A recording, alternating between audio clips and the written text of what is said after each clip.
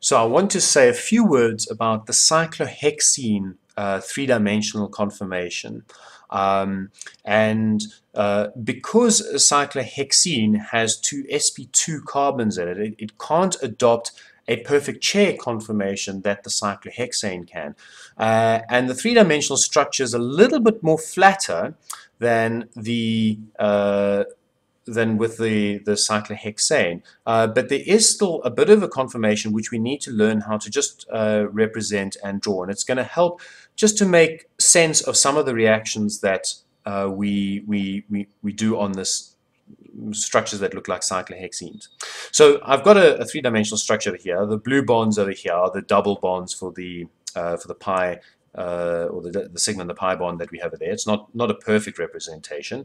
Um, and if we look at this, it's not a perfect chair, but we're going to look at it kind of end on. Now, we don't get a very good uh, sort of picture of this, but I just want to see if we can uh, see what we can. To these blue bonds are obscuring the atoms at the back. Um, but we imagine, let's just imagine that there's a straight line across here. Um, you see how the carbon at the back, this one, this one, and the carbon at the back over there all seem to be in one straight line. Um, and then the two carbons over there, right at the back, go alternatively up over there and down over here. And, and this is the one part of where the cyclohexene can undergo a conformational switch. So because those back carbons are sp3, I'm going to put on just a substituent anyway. I'm going to put it on that position over there. And let's just look at it again from this, this angle. All right, trying to get it straight. And we see that the group at the back there seems to be pointing straight up. And that's effectively an axial position. And so that's not ideal. It would prefer to be equatorial. And so we can switch these two back ones around by doing a conformational switch. So what happens is the whole thing flips like that. And now when we look at it, all right, it is obscured, but that uh, group at the back is now pointing kind of up, although it's hidden. That's, that's an equatorial type of position. So we can represent this um, uh, using line diagrams um, and in order to kind of best describe this three-dimensional aspect to it. And the way we do it is we, as I've been showing it to you now, we're looking down this bond over here. In other words, we're looking, um, our eye is over here, and we're looking across at this bond. And what we do is, as I showed you in that structure, we see the double bond, there are two atoms there. And then we straight across, we actually see two atoms over there as well. And then at the back, there's one at the top, and then this goes down, and there's another one over there, and it comes up. So this diagram, this which is called the half chair for cyclohexenes, it's a half chair diagram. It's a bit more of an exaggeration of this that we're seeing over here. All right, just trying to get that straight to you. So it's a bit, well, let's do it this way around. No, it's the other one. Yeah, yeah. There we go. That should do it, hopefully. Okay, it's an exaggeration of what I'm showing you over here. All right, so the carbon over there is much higher than, than this one is as we've drawn it and this carbon over here is much lower than the one that's over here.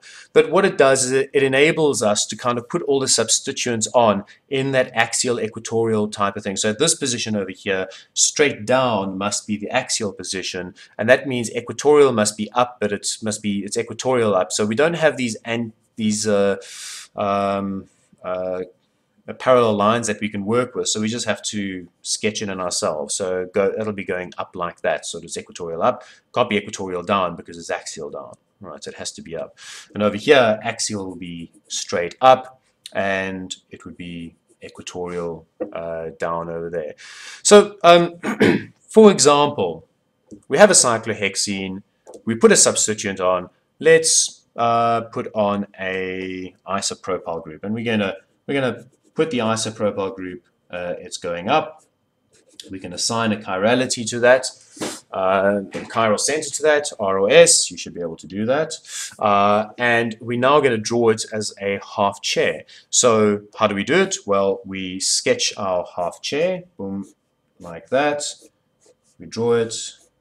All right, it's uh, a bit messy because that line should, that's a single bond that's going behind there, so I should have had that a bit straight.